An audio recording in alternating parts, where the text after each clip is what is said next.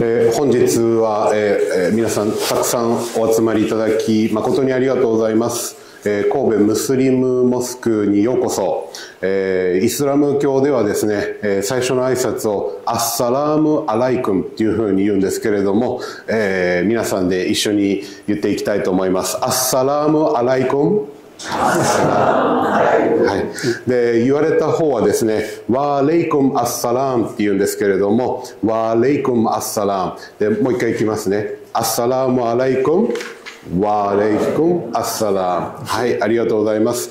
えー、私はですね、えー、シリキ・ナズィール・アーメッドと申しまして、えー、4歳の頃からこちらの神戸モスクに、えー、来させていただいている近所のものなんですけれども、えー、僕は本日は、えー、通訳を、えー、補足だけさせていただきますので、えー、本日の、えー、進行していただきます、えー、サラーさん、ここのあの神戸ムスリムモスクの、えー、住職さん、イスラム教では司祭ですね、司る祭りの司祭にあたります、えー、サラーさんです。よろしくお願いします。皆さん、こんにちは。私の名前、サラーです。エジプト人です。アザハ大学を卒業しました。今、あの PhD やってる、比較宗教学。よろしくお願いします。アザハル大学っていうのは900年ぐらい前約あの、えー日本えー、世界でも最古の、えー、大学でしてエジプトにあるんですけども今あの博士号を取ろうとしてあの頑張っております。ありがとうございます最初はあの神戸息子の歴史なんか聞いたことありますか？神戸息子の歴史例えば何年前できましたか、うん、手挙げてくださいそう最初のあのできたモスク日本で一番古いモスク日本で1935年できました何年前？はい手を挙げてください何年前？はい。うん。うん。はい。計算、な、自分は使わないね。自分の頭。うん。はい。あ、天才。すごい。すごい。それはあのタタール人とインド人お金を集めてこのモスクできました。みんなの寄付ドネーションです。はい。あとこのモスクはあの外国で2つの名前持ってる。2つ。1番目は神戸モスク。2番目は奇跡モスク。なぜですか？それは日本の歴史の話。うん。はい。じゃあげてくださいはいいらっしゃなかったことと、うん、神戸阪神・淡路大震災でも被害が最小限ですごい正しいですそれはあの2つの奇跡ありました、ここで。一番は第二次世界大戦の時にあの戦争ありました。今は平和だけど、それは昔の話。あの神戸モスクの周りで全部なくなっちゃった。でも、モスクだけ残った。モスクだけ残った。それは一番目の奇跡です。2番はあの阪神地震の時に1995、あの残念なこと7000年地震だ、神戸で。本当に残念なことです。モスクのミナレット分かりますか？タワー。一番高いの建物。あの、細い。4つありました。2つは高い、2つは小さい。1つの小さい、倒れた。あと、外のパーキングのカビありました。それも倒れた。これモスクの中何も壊れてない。これが第二次世界大戦の前の写真です。うん、で、えー、第二次世界大戦が終わった後がこれですね。でここにあるのが神戸モスクで奥に見えるここが今あのカトリック教会ってあるんですけども昔中山手カトリック教会がこれですね、うん、で、えー、1995年の、えー、阪神・淡路大震災の時は、えー、ここの外壁駐車場の外壁が、えー、倒れてしまったことと少し、えー、文化センター側の方にひびが入ったっていうただ本堂は無傷というこういう状況です。うんあの地震の時に周りの人たちは生活困りました。あの家壊れた、家族死んだ。こっちの娘たちはあの日本人呼んでました。こういう息子入ってください。大体2週間から3ヶ月までみんな一緒に生活しました、ここで。食べ物、飲み物、寝る場所、こっちです。その意味は宗教は関係ない？何にも関係ない？そう大変なことだったらみんな手伝う。それはイスラム教の教え方です。はい。あとこのモスクの地下あります。そういえば、あの、地下、あの、第二次世界大戦の時に日本の軍隊、神戸モスクに入りました。地地下に入ってシェルターを作りました。大体2年ぐらい。だから1943から1945まで。あの、こっち、あの、シェルタを作りました。あと、1回は、それは男性の礼拝場所。でも、金額だったら両方関係ない。大丈夫です。あと、女性は2回、3回もあります。でも、あの、大きな質問、いつもあります。なぜ女性と男性を分けるでしょ？なぜあの一緒に礼拝しない？ミスの理由。一番目、私たちの目的、あの、アッラー様に100%純粋な崇拝する。100%。90じゃなくて、50じゃなくて、40じゃなくて100%。もしかして男性と女性一緒に立って礼拝する。100%純粋な崇拝できますか？できますか？うん。できる？できる？難しいでしょ？日本でいうところの煩悩っていう考え方がありますよね。イスラム教では礼拝をあげるときに、心の持ちようを、要は100%神様、アラビア語ではアッラー様に崇拝を、えー、崇拝をすると。で、そのことで近くに女性がいると、心の中の煩悩煩悩みたいなものがもし来てしまうと、それは神様に対して失礼なので、男性と女性と、えーえー、一つ幕を垂れるっていう考え方が、えー、古来から続いております。はい、2番目の理由あの礼拝のコードは決まってる。当たってあのコラム朗読してあと頭下げる何かあったらわからないでしょ？わからない。あのムスリムたちは人間天地じゃない。だからいい人いる悪い人もいる。いろんな宗教同じ。いい人いる悪い人もいる。いろんなあの国も同じいい人いる悪い人いる。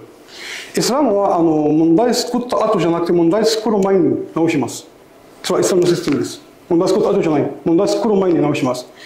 もしかしてあの女性たちはこっちに立って礼拝する。一人の悪い娘一人だけいる。彼女たちに悪いことをやるかもしれない。あのチャンスある。1%のチャンスでもでしょ。イスラムは彼にチャンスあげない。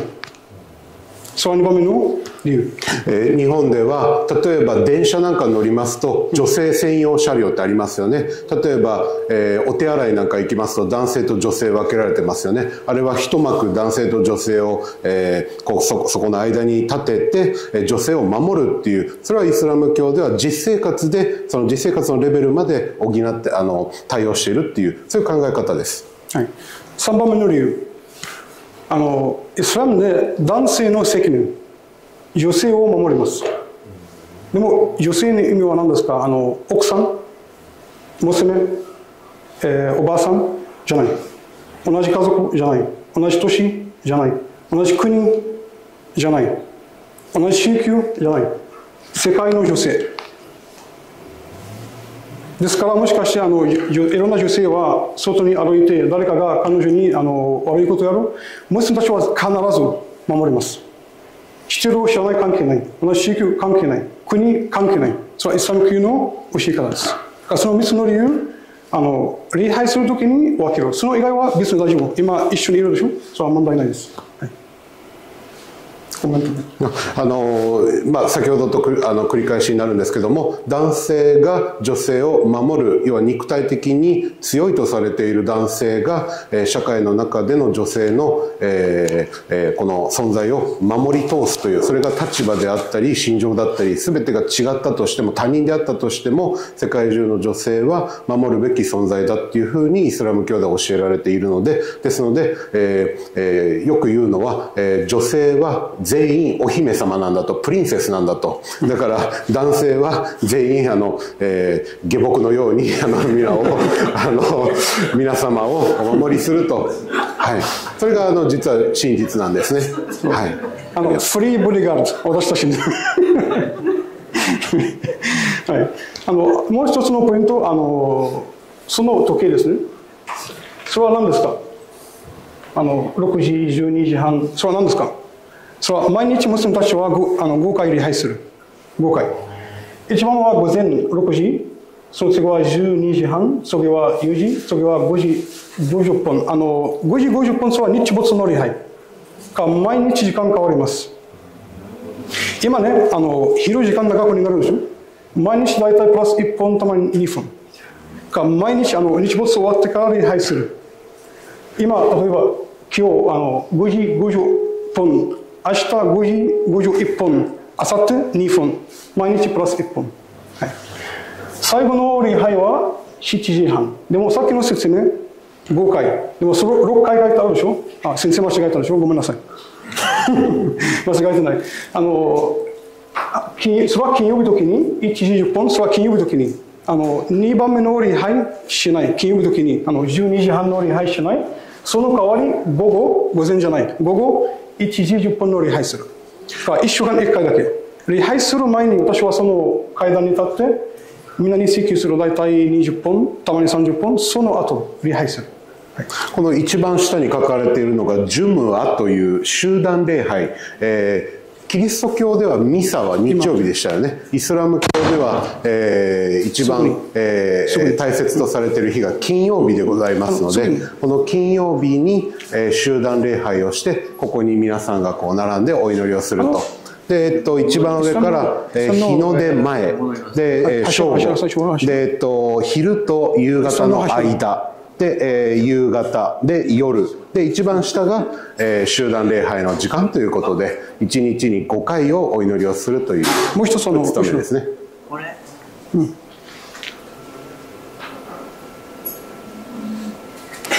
大丈夫大丈夫。いやあの本日はあのラマダンの話ですね。ラマダンは何ですか、えー、ラマダンはイスラムの柱です。イスラムに5つの柱があります。5つ。1番目、そこに書いてある。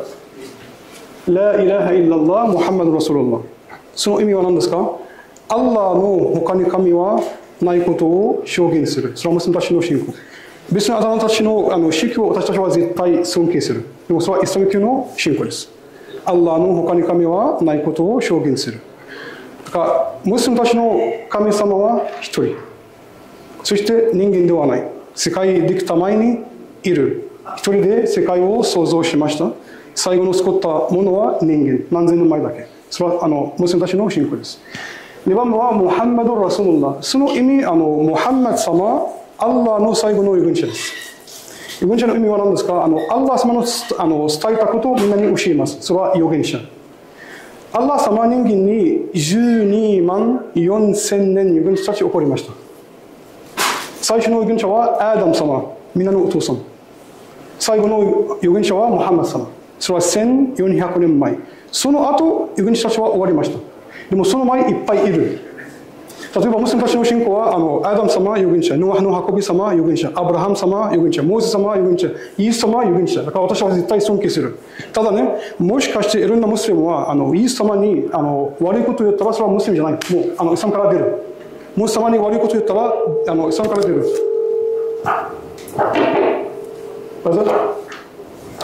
この上のライラ・ハイレラっていうのは、えー、神様要はアッラー様アラビア語ではアッラー様というんですけども要は唯一の神様、えー、多神要は多くの神様ではなくて唯一絶対の全知全能なる一人の神様がおられる。それを、えー、アラビア語でアッラー様以外に、神様はいないと、ムハンマドは、アッラー様の預言者なりと。で先ほど言ってたのは、えー、ムハンマド様に至るまで、えー、世界には12万4千人の、えー、預言者さんたちがいて、えー、我々に馴染みのよく日本の方にもあの聞かれる一番最初のアダムとイブのアダムさんから始まって、えー、アブラハムさんですとかモーセさんとか、えー、イエスさんとか、えー、それ全員が預言者ですよということですね。はい。それは1番目のイスラムの柱2番目は礼拝さっきの説明あの毎日私たちは5回の礼拝する、はい、最初のあの礼拝は午前あの6時最後は7時だけどあのこの礼拝は1年ずっと同じじゃなくてそれは太陽日違う。か毎日大体あの1本2分変わる。でもそれは集まるの時間。モスクの集まるの時間か大体2週間あと1回で変わります。でも日没の礼拝5時50分オートマティック変わります、毎日。はい、それ以外はあの大体2週間1回変わります。はい、3番目の柱、ザカル。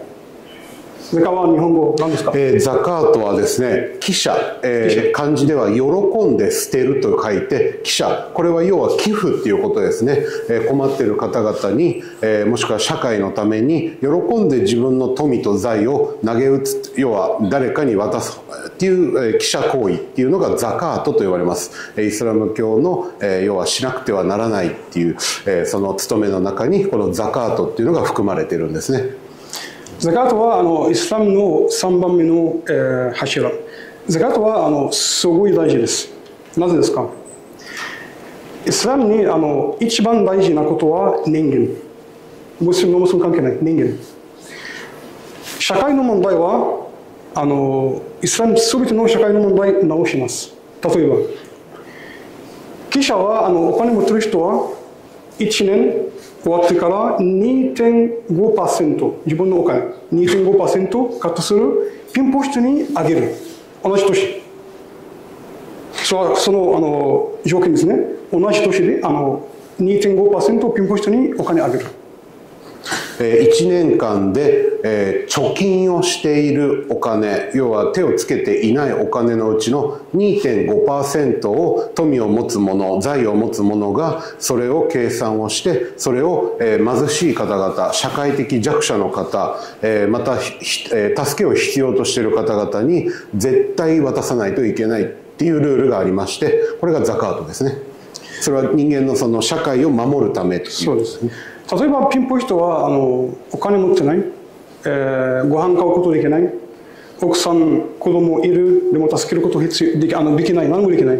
そしてあのお金持ってる人はあの全然気にしない。助けない。お金あのピンポイントはどうする？憎しみ作るでしょ？みんなじゃないでもいろんな人は憎しみ作る。その後？憎しみは大きくなる。その後？悪いことやる。あのピンポイントにあのあのお金持ってる人に悪いことをやります。例えば泥棒するあの車を壊します。なんか絶対悪いことあのリベンジのために。なぜあのお金持ってる人は全然気にしない。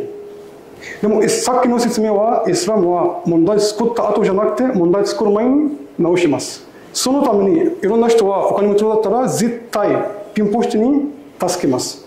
いつも助けるだったらピンポイントはずっとピンポイントじゃない。すぐにお金持ってます。だからその社会の問題は直します。一番日本の方が分かりやすくあの理解できるのはおそらく社会保険とか厚生年金とか健康保険とかあれは付加方式といってその年の現役の世代の方がその年の年配の方に助けを要はこれを使ってくれっていうことで渡したり要は助けを必要としている方社会的弱者の方に助けをあの渡すという。でそれをイスラム教では1400年以上も前にもうそれをやりなさいっていうふうに言ってるっていうこれが、えー、教えですね、はい、4番目はあのラマダン断食。それは今日の話ですね。それはイスラム教の4番目の柱断食です。断食はあの1400年前じゃなくてそれは最初の人間からアダム様から今日まで変わったこと同じ。礼拝も大体同じでも何回それはこれだけ違う。かムスリムたちはあの1400年前から今日まで 5, あの5回。もともと多分2回3回分かんない。でもやり方は同じ。聖書だけ違う。だから私たちは礼拝するときにコーランの聖書だけ朗読あの朗読する。でももともとはタオラインジースはもともとの話。あの礼拝のやり方は同じです。変わったことない。断食も同じです。はい、断食はあの1400年前じゃなくてそれは最初人間から今日まで、はい。えー、アダムさんの時代から断食っていうのは行われていて、えー、これを務めとしてずっとしていた歴代の預言者さんたちが実際にそれを行っていて、はい、えー、えー、キリスト教の中でもね仏教の中でも断食っていう、うん、えー行為っていうのはありますから、えー、それをイスラム教の中では、えー、もちろんラマダンの月のっていうことで言うんですけれども断食行為そのものはずっと昔から続いているという。えー、now, he will introduce himself, please. えー、どうもおはようございます。スマラさん、あの、おはようございます。ラマダンは何ですか？あとは紹介してください。最初は紹介してください。説明させてください。私、日本人でして、ソマーラ・ルスタと言います。でイスラムメンがモハメッド・ヨスミなんですけども、えー、まず日本人の僕はなぜイスラム教徒になっているかというところからの説明をしないと不思議がないと思いますので説明いたしますけど私あの1996年ぐらいからですね、えー、青年海外協力隊とか JICA がやってるボランティア活動がありますけどそれでチュニジアの方に2年半行ってましたえー、そこで活動してたんです。そこで知り合った女性と結婚してイスラム教徒になったんですけどもいうのがあのイスラム教徒の女性はイスラム教徒の男性でしか結婚できないようになったんですけどもただ結婚するためにここがね難しいところで結婚するためにイスラム教徒になったんじゃなくて結婚したけたけどもイスラム教になるのは難しいと。思った当然ですね。敷居が高い。それならなかなれなかったんですけども僕はその以前からですねこの地球を作ったのは誰だかとか自然とは誰が作ったのかとかこの人間の指とか体とか誰が作ったのか常に不思議に思ってたんですね。そしてある時ふとあもう自然がアッラーなんだと。これを作ったのがアッラーなんだってそれで簡単に気持ちが切り替えることができて全然イスラム教徒になる。それで彼女にチュニジアに行ってあの結婚申し込んで受けてくれて約10 20年前なんですね。あのプロポーズしたんでそれで結婚したんですけども。で彼女が大学僕がプロポーズした時にちょうど大学事務官で3年間待ってくれ言われてそれは。婚約期間3年間長かったですけどね。そこであのチュニジアに何回も見たりしながら当然文化が違いますのでその3年間で僕とすごいお互いにとって理解し合うの必要な時間だったんじゃないかなと思ってます。でそれまではだから大マスクにはお色に来るだけの信者だったんですけども去年の4月からここの理事として今ちょっとこちらでね働かせていただいています。で、まあ、それでいろいろと勉強を今していっているところです。でこのラマダンなんですけどラマダンというのは、えー、ラマダン月です。ラマダンがイコール断食じゃなしにラマダン月って9番の月なんですけどもいつから始まるかということなんですけどもおお月さんなんですね。普通の生活ではカレンダーは太陽でカレンダーなんですけどもイスラムについてはお月さんのカレンダーになります。それであの周期が違いますので毎年10日から11日ずつずれてきてます。ですから1年で36回ですかね。36周して初めて、うん。えー、1年が、まあ、回ることになるんですけども。でいつからではいつから始まるかということなんですけどもこれ、えーと、新月が見えた時から新月が見えるまでですかね。僕は新月が見えるわけないやと思うんですけども何も新月じゃなしにね新月の時に下の方にちっちゃくなる三日月が見えるらしいですね。それを見る人がいてて新月観測委員会というのがなんか日本ムスリム協会にあるみたいでしてそれも40年ぐらい前からあのそのお月さん見る活動をしてるらしいんですけど日本ではなかなか見れないそうなんですね。ではどうするかというと日本に一番近いイスラム国であるマレーシアのがイスラムになあのラマダンになったかどうかっていうのを聞いてから日本もラマダン好きになりますで今あの当然技術が発達しててわざわざ月になくてもあの計算したら分かるんですけどもこれはコーラの中にそういったことが書かれていてて肉眼でお月さんを見てラマダンを始めて肉眼でお月さんを見てラマダンを終えるというふうに書かれてますのでですからあの国によってスタート時期がちょっとずれてるところがあります。まあトルコなんかも前もって計算した日付でやってるらしいんですけどまだ日本とかについてはそれでお月さんを目で見て始めてる。日本でもなんか20箇所ぐらいで同時見るらしいですね。一人の人が見たらじゃああの信用できないんで最低2人で見てあの新月が見えた見えないというのを判断してるらしいです、よろしいすごい。ありがとうございました。ありがとうございました、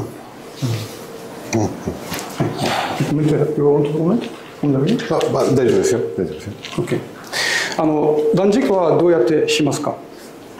あの昼上がる前に大体2時間から日没まで。だから1日は多分15時間ぐらい。ラマダンっていうあのその断食ってよく日本の方がえずっとそんな食べないの？って1ヶ月間って言われるんですけども実は日が照ってる間太陽が出てる間だけ食べれないですので日の出前から日の入りまで、えーものえー要は飲み物食べ物等を口にすることができないという。ラマダンはあの一年の一番大事なあの月ですよ。なぜならこのあのこの昼のためにあのカドルの昼です。カドルの昼はあの一年一回もしかしてあの崇拝するアッラー様に崇拝する。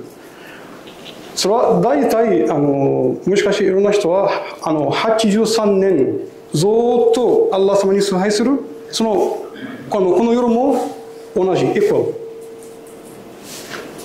えー This is the ライラトルカドルね、えーライラトルカドルというあの日がありまして、えーものすごく大切な日でしてこれがラマダンの、えー月の中にありましてライラトルカドルに、えーいろんなその、まあ、宗教的な、えーイベントが過去の歴史の中で行われたということでえーイスラム教ではすごく大切にされているんですただこの日がどの日に当たるかっていうのは未だに不明なんですね。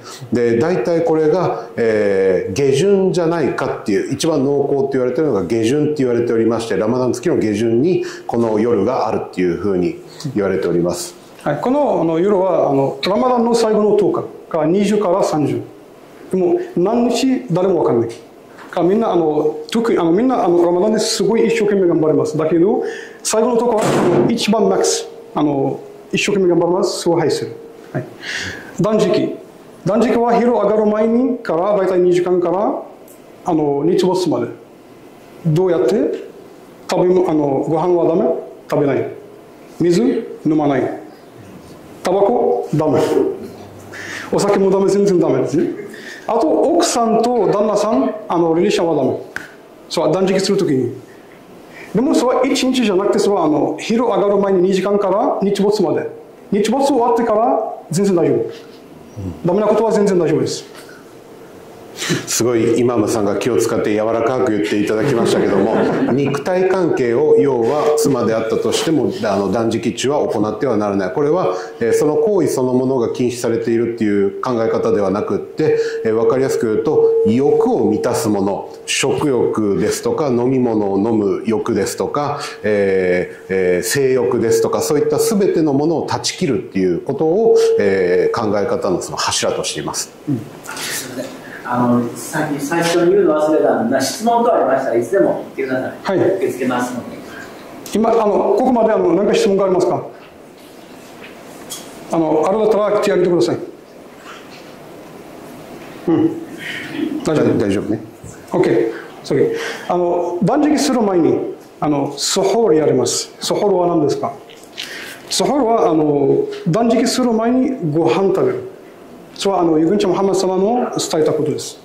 それは本当にすごい大事です。それはあのあの昼上がる前に2時間前と3時間前あのみんな起きてあとご飯食べて水飲むそれは本当に一日ずっと力持ってる。日の出前の2時間から3時間前にスフールという時間があのありましてこのスフールっていうのは、えー日が上がる前にご飯を食べる、えー要は食を食をとってエネルギーを貯めるっていうそれをスフールですね、断食終わってからあのまずそれは4番目の礼拝の時間か日没のあの時間。日没の礼拝の時間。まずあの少しだけあの水を飲んであのなあの夏宮市デーツ。食べてそがその後あのモスクに行ってあの礼拝する。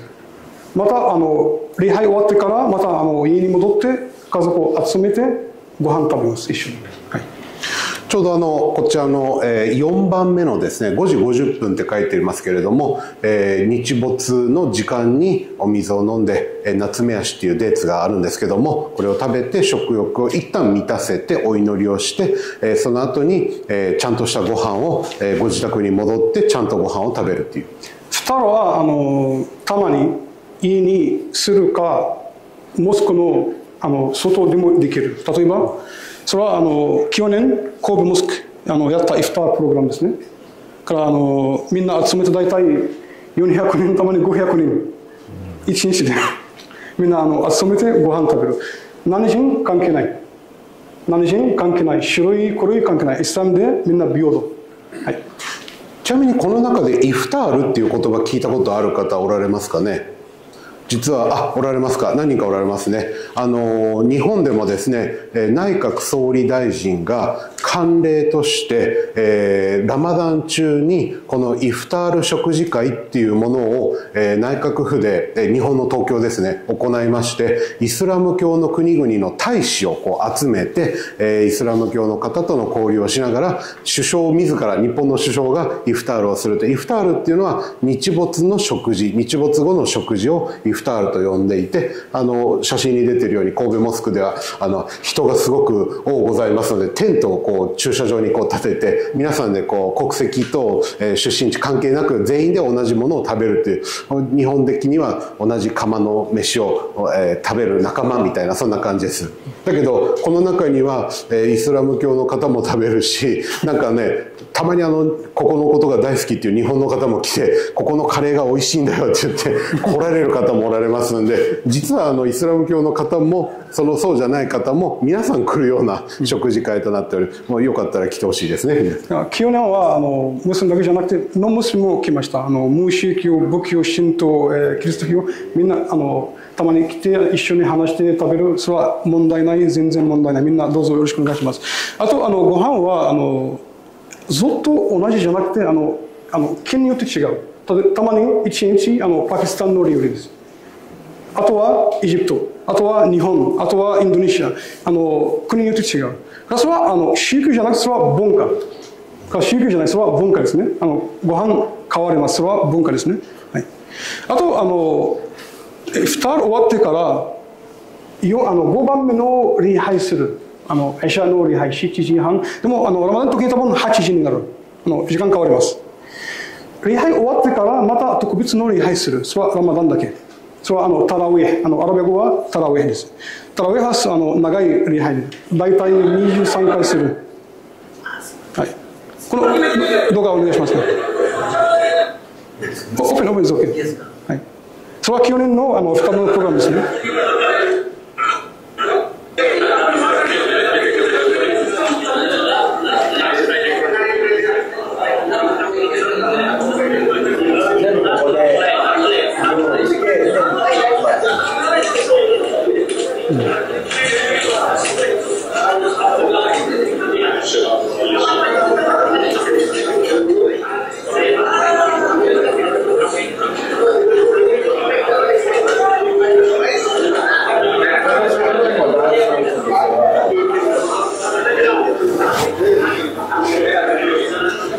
イマームさんが言っていただいたのはえ、パキスタン料理ですとかエジプト料理とか、えー、いろんな料理が出てくるのはそれぞれの、えー、国の信者の方々が神戸モスクっていうのは、えー、一カ国ではなくて、えー、すごい多くの国々の方が集まっているので、えー、その中にはこう手を挙げて僕作るよみたいな、えー、手を挙げてくださる方が、えー、たくさんおられますので、えー、取り合いになりますので月曜日は僕のもんだとか水曜日は僕のもんだっていうそうするとこういろんな国のお食事を毎日こう堪能できるっていう神戸でそれができるのはここだけっていう。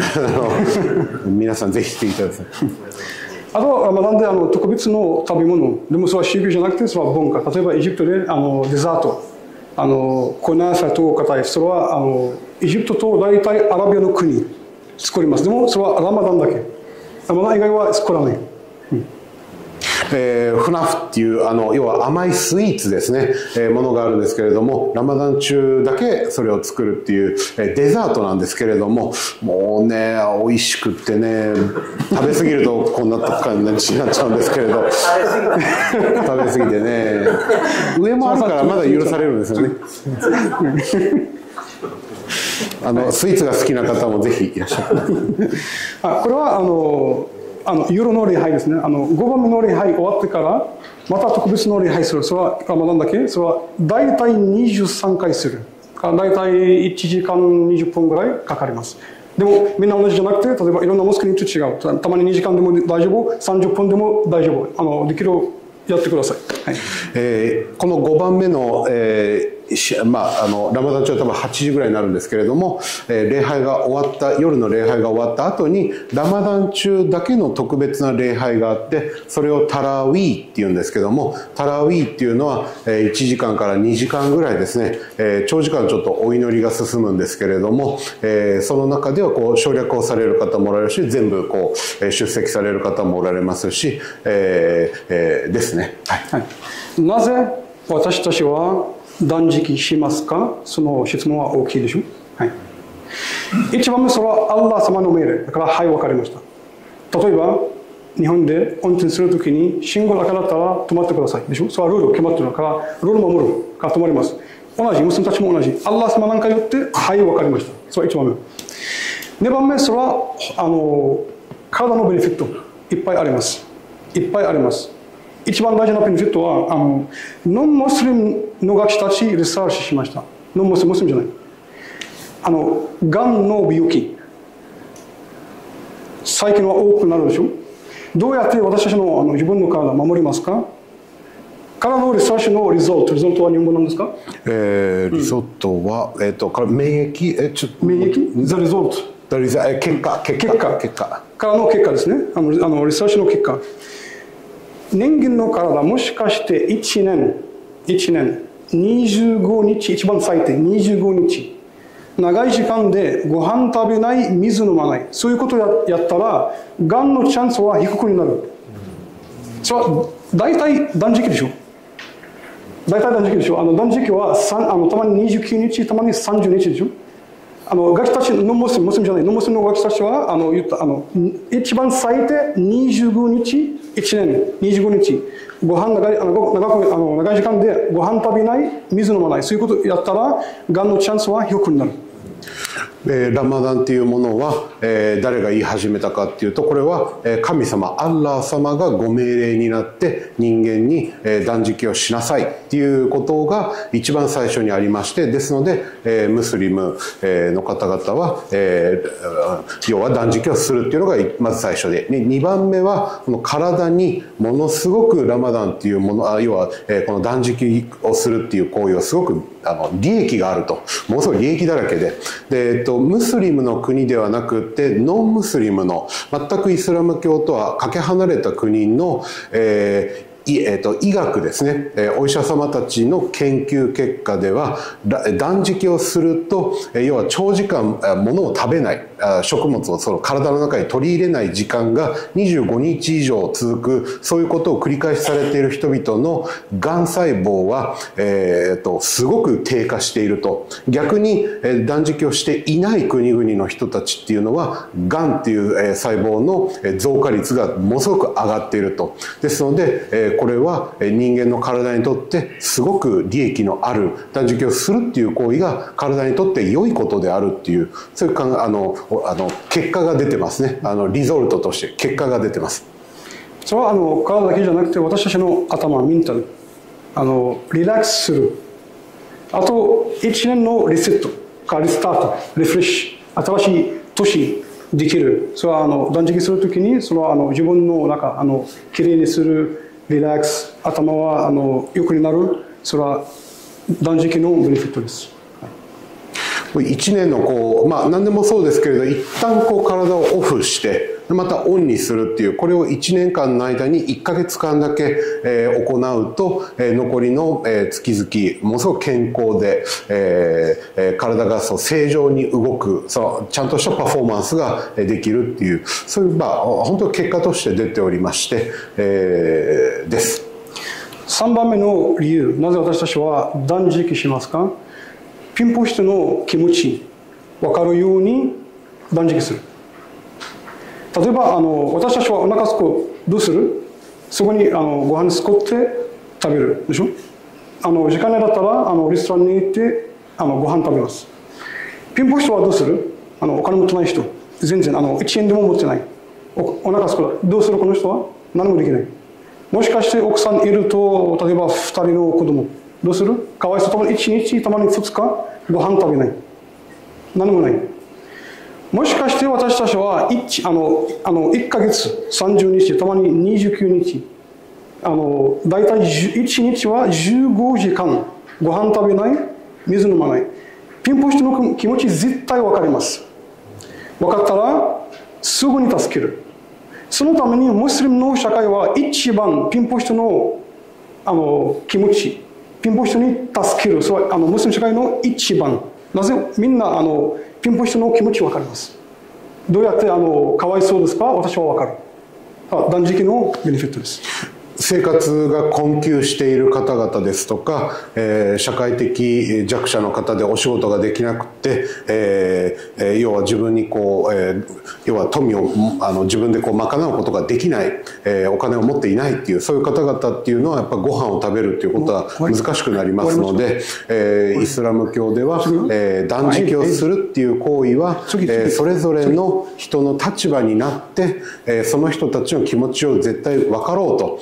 これはお金を持ってる人であったとしても、えー、その、えー中産階級であったとしても一旦その,、えーそのえー、要は貧しい方々の気持ちをこう理解するっていう、えー、この共同体の中で、えー、誰もこう,、えーこうえーこう後ろにこう置いてきぼりを置いてけぼりにするようなことのない社会を目指しているのがイスラム教なのでですので断食のこの利点として、えー、物を食べないっていうことは相手の、えー、要はそれを本当に生活の中で、えー、そうなってしまっている方の気持ちを分かるっていうこういう利点がありますね。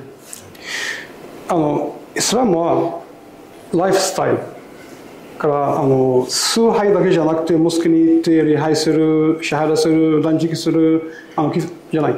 それは大体10%だけなんですよ。10%だけ。90%はマナー。どうやっていい人になりますか？それはイスラム。どうやってあの強い家族を作りますか？それはイスラム。どうやって社会の問題を直しますか？それはイスラム。どうやって世界の平和を守りますか？それはイスラムです。そのためにあのザカートルフィトルそれはラマダン終わってから次の日はそれはアイドアイドはお祭り。それはお祭り。でもお祭りはお金お金持ってる人はあのお金持ってるだったら新しい洋服を買うあの美味しい食べ物あの旅行する。でもピンポ人は何もできない。そのためにザカートあります。アッラー様決めた。あのあなただけあのお金を持ってる人だけあの幸せになるだけじゃなくてピンポ人も幸せになります。ですからキザあのキあのキザするあのキザの難しいでしょ？記者ね。記者記者はい。記者。する。あのみんなお金払うあのピンポイントにあとご飯と新しい服あげる。みんなあのお祭りの時に幸せになる。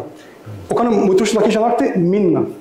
その時にみんな平等ですね。それはイスラムの教え方ですこれはあのもう僕は付け足すことはないですけどそのまんまで要は記者をするっていうことが、えー、その社会にとってとても良いことであると。であと、まあ、日本的に考えれば経済規模が今日本はすごく豊かになっておりますのでそんなにその道の中でこう困ってるような人を見つけるっていうのは逆に困難ですけれどもだけれども経済っていうものはもちろん日本の話ではなくて外国ですけれども経済っていうものはこう上がったり下がったりする。でその時にこうお金持ちの国になったり貧乏の国になったりっていういろいろありますけどもイスラム教では基本的にはずっとこのルールを守りなさいっていう教えの中で毎毎年これを続けなさいと。だから、えー、その良くなったから払うとかではなくていや違うささやかでも小さくっても必ず回転のその、えー、軸を止めな止めてはならないっていうそういう考え方がこのイスラームっていうのはありますので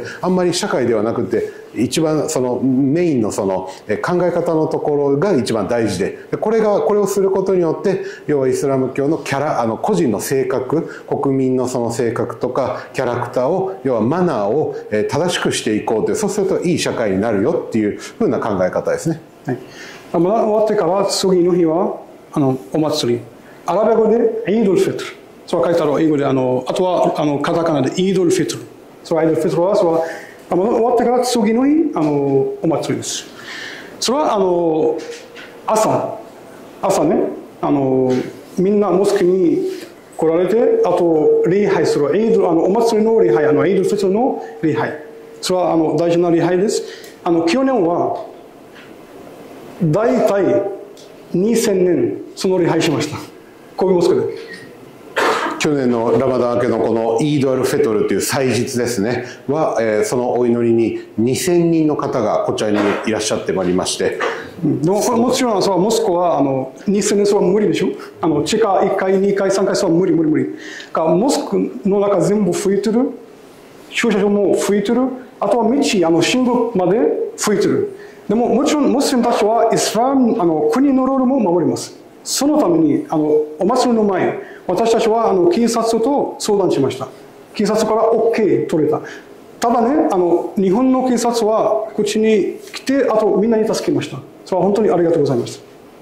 あの兵庫県警のあの方と相談をしてですねあまりにもものすごく多い方々がお祈りとこの礼拝にイードっていうそのお祭り日本ではもうお正月みたいな日ですからこの日にこう来ていただくっていうことで、え兵庫県警の方から、えこう指南をしていただいてこういうふうに配置したら、えお祈りが多分できるよっていうあのあそこの交差点の信号のところまで人が並ぶっていう、ね、2回に分けたんですね。あの礼拝を2回にに分けて、うん、えー、前と後ろとで。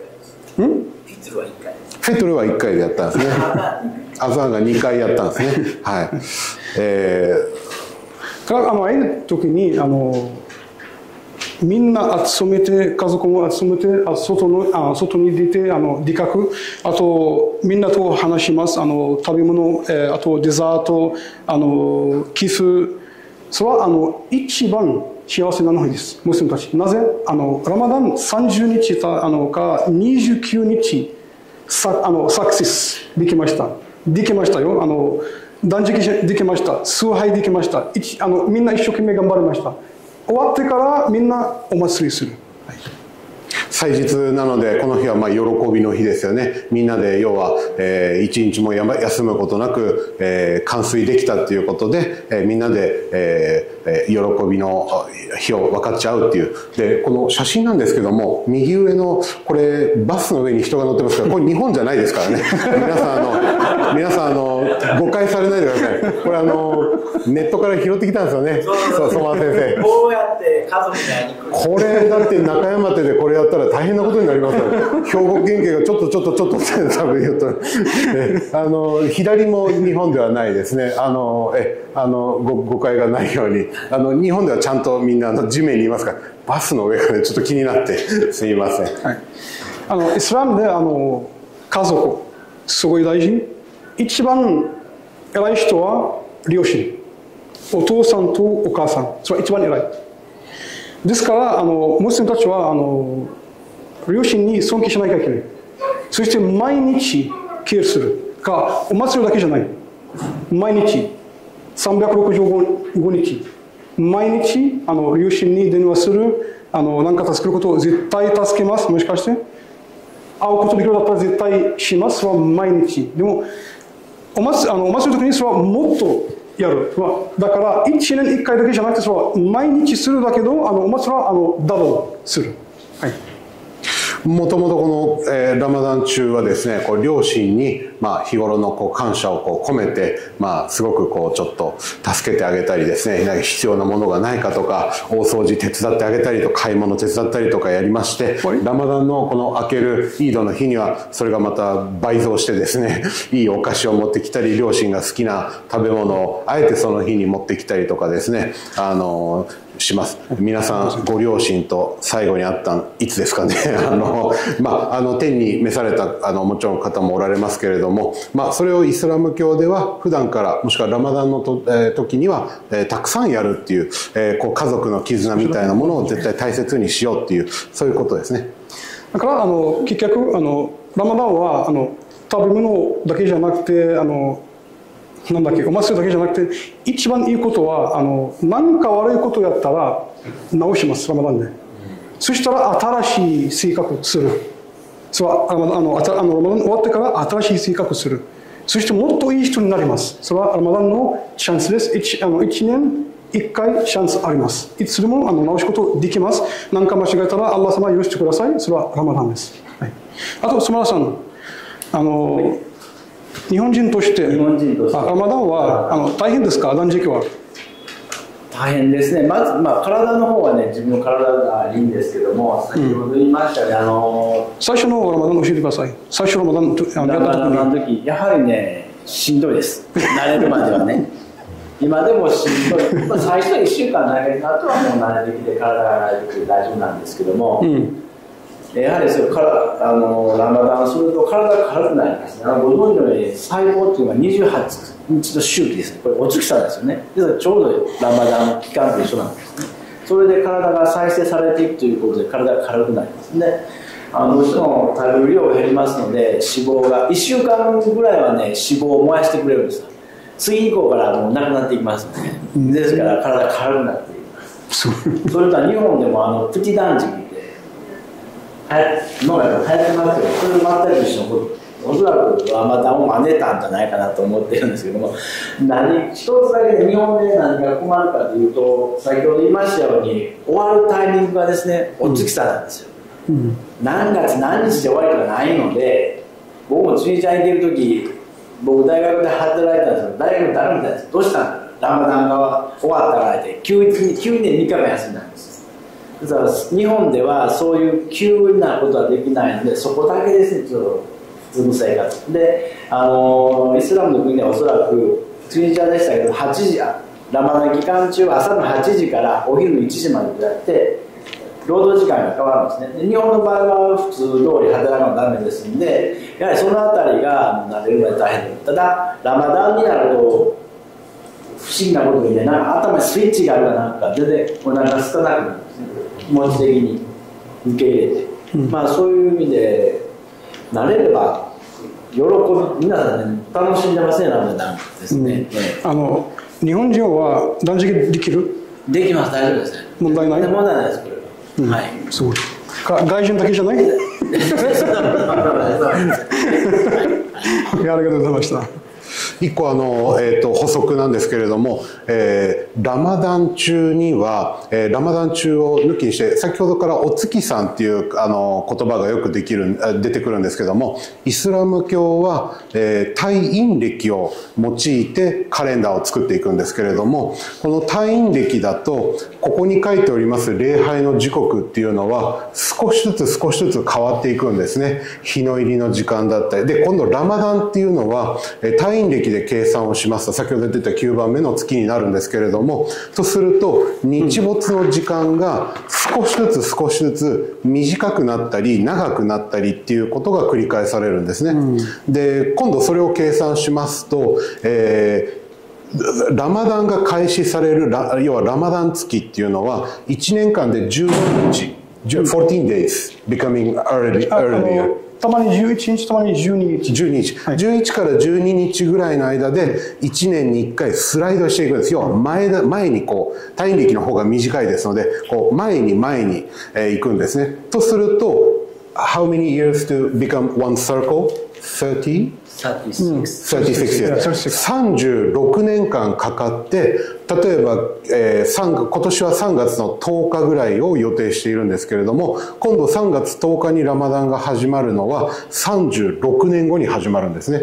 えーと、ですので少しずつ少しずつ少しずつ前に前に、えー、前倒ししていくっていう。でとするとですね暑い時の例えば夏場にラマダンがかかったり冬にラマダンがかかった今回は春ですけれどもそうするとさっきイマムさんがおっしゃったように、えー、他者の気持ちを分かるっていうそれは他者の気持ちを分かると同時に寒い地方の方々の気持ちも分かるし暑い時の国の気持ちも分かるとだからアフリカの方が困窮している人たちの気持ちも分かるしシベリアのにいる寒いところの、えー、方々の気持ちも分かるっていう36年ぐらいかけて、えー、やるんですね。だから長い人で3回ぐらい 3, 3 回ぐらい一周する人いますね、はい、はい、今から何か質問がある？どうぞ。あのご質問を Q&A のタイムですのでぜひ何でも聞いてください。はいはいどうぞ。マイクじゃあ。はいどうぞ。はい、一応の理解ありがとうございます。あのこの通りに住んでて、去年いいと思うんですにあの家の前にすごい人がいてで会議するたびにすみませんってやってたんですけどなんかもうちょっとこのおめでとうみたいな通じるご挨拶みたいなのがあったら増えていいかなと思います。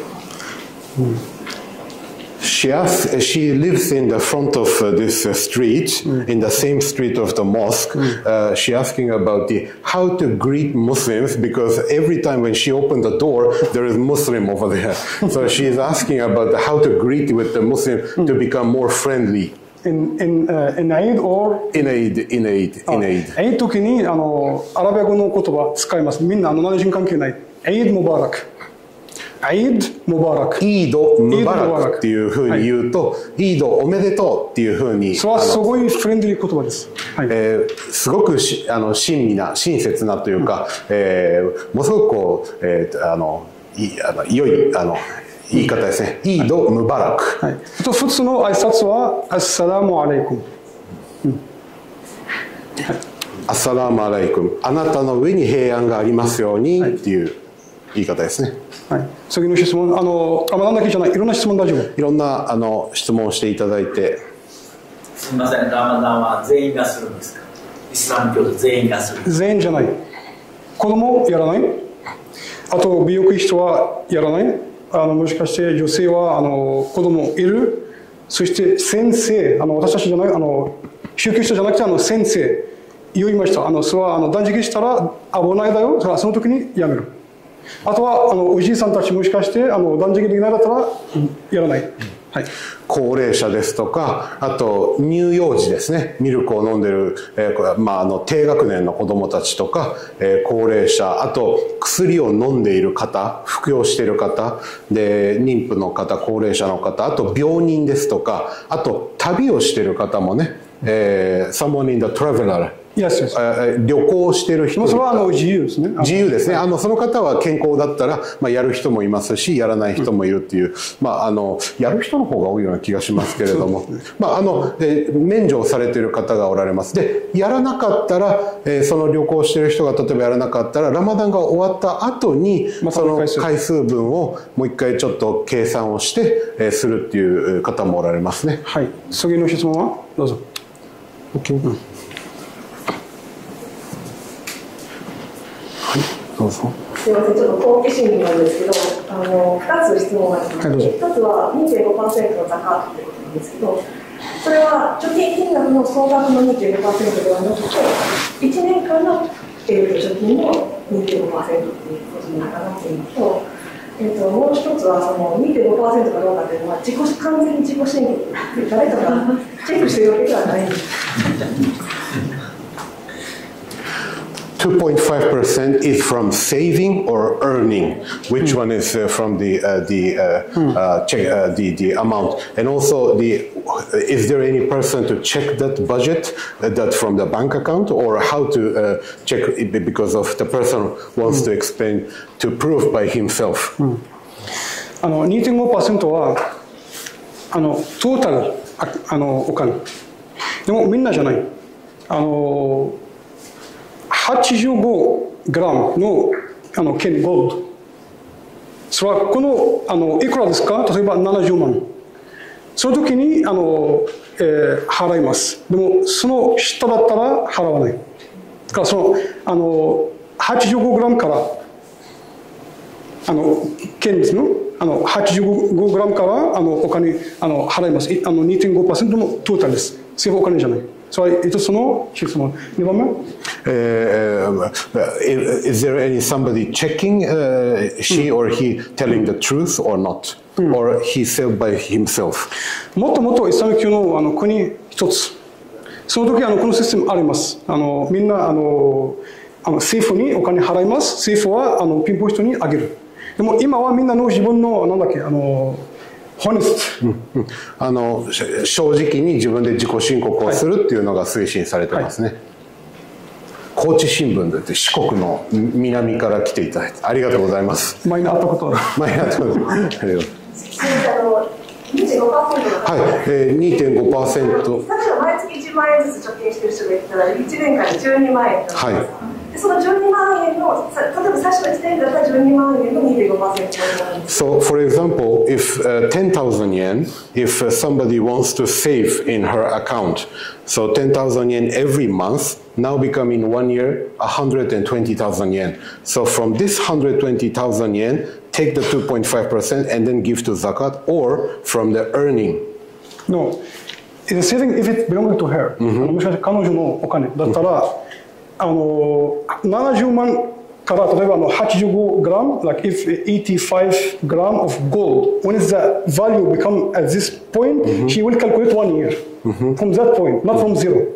ゼロから数えるんじゃなくてえー、と金で計算するんですけども 85g の金と同額の、えー、そのいわゆる彼女の、えー、要は、えーえー、貯金額というかその、えー、セービングですね。それが超えたらそこから計算するというだからそれよりも手前だったら払う必要はないっていう。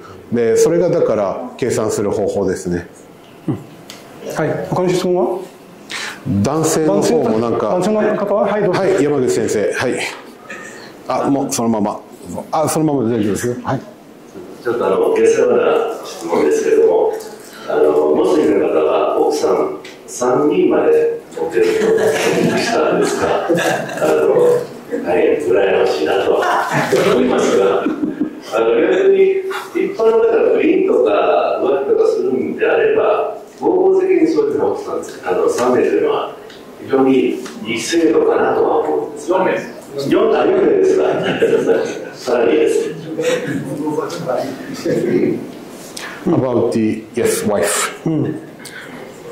What exactly is uh, the the wife uh, the Islam allows that one person can have the four wives, mm. the maximum. Mm. But if it is the true information, can you explain about that uh, wife? Okay. あの4人の奥さん、それは条件があります。あのフリーじゃない。 1番目みんな平等例えば1番目の奥さんにあの1万あげました。から2番目と3番目と4番目あのお金あげる。同じ。あの外に一緒に来ました。同じ。家あの家買いました。同じ。それ1番目。あとは債権ですね。あの責任取ることできなかったらそれは絶対ダメ。あのフリーじゃない。あの条件いっぱいあります。でもっともっとねもしかして罰だったらあの旧約聖書とあ旧約聖書。いっぱい書いてあるあのヤコブ様あの奥さんいっぱい持ってる。あとダビデ様。あとソロモン様はあの千年の奥さんいるね。からそれは書いてある。からそのあの昔から最初人間からその奥さんは一人あのでも二人でも三年いっぱいそれは大体問題ない。それは文化の話。でも今の文化はもしかしてですね奥さんは彼女の条件。あの結婚する前に。2番目の奥さんはダメ。もしかして旦那さんは OK だったら1人だけ。ずっと1人だけ。それはあの契約する前に。もしかして彼女の条件は1人だけだったら1人だけ、はい、まああの今の今の説明であのお分かりだと思うんですけれども基本的には一人の奥さんと次の奥さんっていうのは絶対に同じ対応しないといけないお世話をしないといけない家を買ってあげたらこっちの奥さんにも買ってあげないといけないし1万円あげたらこっちにも1万円旅行に行ったら一緒に連れて行かないといけないしっていうそういった条件があって。で旧約聖書から長く、えーえー、この、えー多彩ですね。一夫多妻のシステムっていうのはありますね、えー、数は違いますけどもイスラム教では今はマックス4人までただこの4人っていうのは条件がすごくありますのでその条件を全うできる人間しかなあの奥さんを取ってはいけない。あと2番目のポイントすごい大事です。さっきの説明あのイスラムは社会の問題直します。例えばあのいろんな奥さんは彼女の旦那さん死んだ。そして子供いる。仕事できない。彼女はどうする？イスラムでもしかしてできる人は彼女と結婚するだったらあの家族を守ります。それはあの社会の問題を直します。そういろいろあのシステムあります。のあのフリーだけじゃなくてあの条件があるシステムもあります、はい、社会問題を解決するっていうのがイスラム教のベースな考え方なんですけれども要は社会の中で旦那さんに先立たれたえー、奥様。で、えーと、先に、えー、夫を失ってしまってご本人は何らかの理由で働くことができない。プラス子供がいるっていう状況だったりするとその女性っていうのは必ず生活に困ると。ですのでイスラム教では、えー、そういった条件を全部あの全うできる、えー、比較的富のあるもの、えー、裕福なものがそういう女性を優先的に、えーえー、奥さんとして、えー、結婚をしてその方々の生活を守るっていうつまり女性を守るっていう行為をしてますね。昔はあの戦争ねで戦争した相手の敵側の例えば兵士たちを殺害すると、うん、敵ですから。でその人たちの奥さんたちっていうのは、えー、路頭に迷わせて根絶やしにするっていうそういうことはせずに必ず、えー、ムスリムの要は軍の人たちが、えー、あなた方は路頭に迷わせることは私たちはしませんと、えー、こうやってあの、えー、奥さんとしてあのちゃんとあなた方を守りますよっていうそういう感じですので、えー、とにかく、えー、あの路頭に迷わせるっていう女性を路頭に迷わせるっていうことを絶対に避けるっていうのがこのイスラム教の考え方ですね。はい、皆さん今日はここまでです。ありがとうございました。ありがとうございます。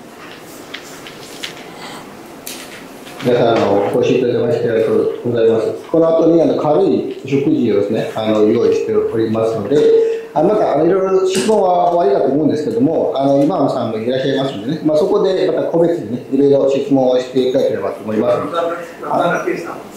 であのラマダンで我々がね、普段あのイフターの説もありましたけど、その時に食べるものをちょっと用意させていただきました。あのそちらあの一緒にですね、あの食事をしてもらいながら、またいろいろ話を聞いてもらえればと思いますので、今日は本当にありがとうございました。